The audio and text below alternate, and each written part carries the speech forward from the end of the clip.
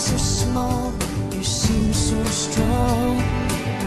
My arms will hold you, keep you safe and warm. This bond between us can't be broken.